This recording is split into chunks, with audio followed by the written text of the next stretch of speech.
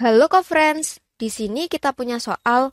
Sebuah bangun memiliki ciri-ciri dua pasang sisi sejajar sama panjang, semua sudutnya siku-siku. Nah, kita diminta untuk mencari bangun tersebut bangun apakah co-friends? Maka terlebih dahulu kita dapat ilustrasikan. Di sini ada persegi panjang, jajar genjang, belah ketupat, dan persegi, sesuai dengan opsi pada jawabannya. Nah, kemudian kita identifikasi atau kita lihat gambar yang sesuai dengan ciri-ciri pada soal. Untuk yang pertama, di sini dua pasang sisi sejajar sama panjang.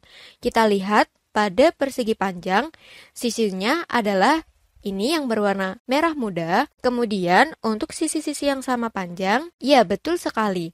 Persegi panjang memiliki dua pasang sisi sejajar sama panjang. Kita dapat tandai dengan tanda seperti ini, sama panjang. Kemudian kita beralih ke jajar genjang. Di sini jajar genjang sisinya adalah yang berwarna merah muda.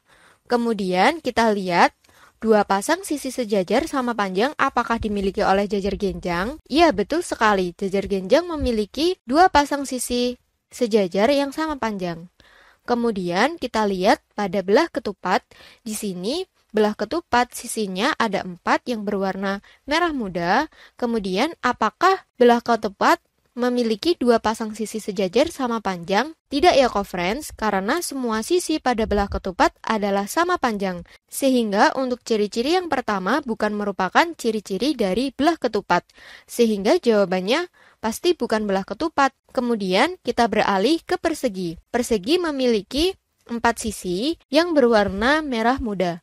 Kemudian, apakah persegi memiliki dua pasang sisi sejajar sama panjang? Tidak ya, co-friends, karena persegi memiliki keempat sisinya adalah sama panjang, sehingga jawabannya pasti bukan persegi. Selanjutnya, untuk ciri-ciri yang kedua, yakni semua sudutnya adalah siku-siku. Sudut siku-siku adalah sudut yang besarnya 90 derajat.